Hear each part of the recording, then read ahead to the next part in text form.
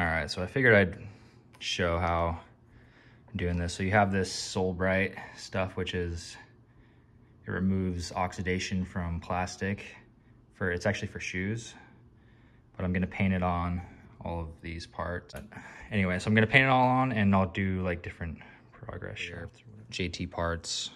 And I also use this on this chameleon. I'm gonna do it again. It worked super, super well. These were like straight up gray, like like how it is right here, but you can see it's purple right there in here. It was like straight up all just this gray color before. And it was not that sunny, but it's super sunny out today. So anyway, I'm gonna show you. It's super easy. You just, you literally just take this stuff and you just paint it on like all over the clear. And then you put it through like, and you use a lot of it. So you just put it on and you cover the parts, right? And so I'll do that with it and then I'll show little shots, whatever progress shots. After you um, get it all painted with this stuff, you then wrap it carefully with plastic wrap and then you set it in the sun. I'm gonna set it on the tin foil just to, I don't know, see if that adds. So there you go. So this one's all covered everywhere. And I did the back too. So I'm gonna cover it. So you take this, obviously, yeah, it's pretty self-explanatory, obviously. You just,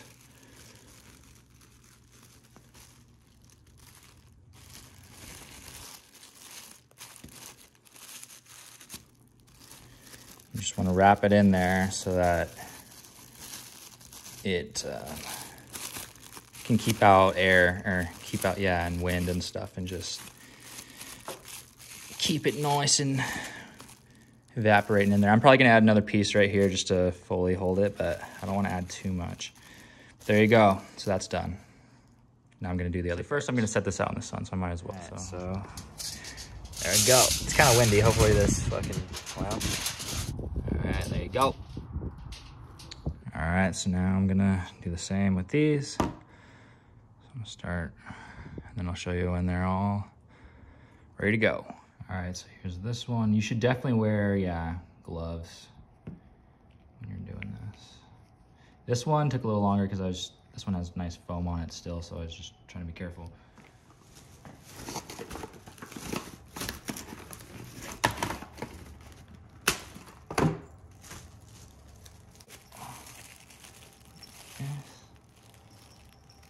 Fuck.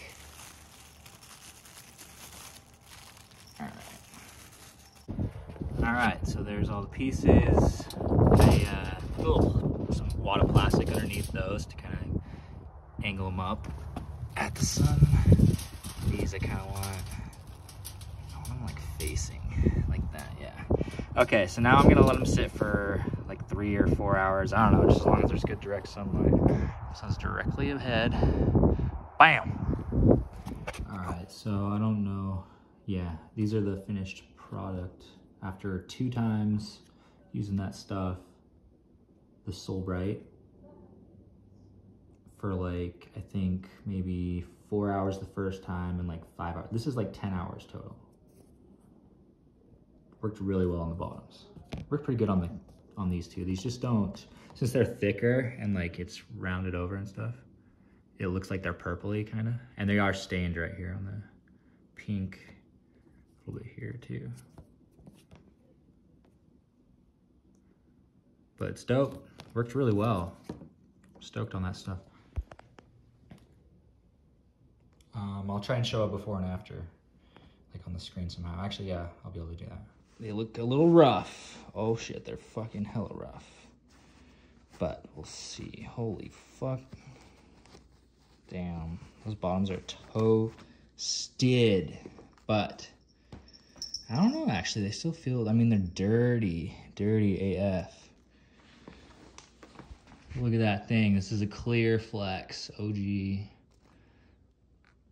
thing's worth pretty quite a bit here, even in this condition. It's wild. These clear ones especially, people go crazy for them. I'm gonna try and clean it up. I got this stuff on the way. It's called uh, Sole Bright. It's for shoes, yellowing plastic on the bottom of shoes. Damn, this strap is sick. I like this strap on here too. Um, But hell yeah, I'm stoked on these. The frames look fine. I think it'll clean up. That's crazy how dark it is though. Whoa. It's a little fried, but it's okay. Wow. I can't believe all this stuff is here. It came so fast. That's what I was trying to say the whole time is all this stuff came in like three days or maybe even less from. But damn.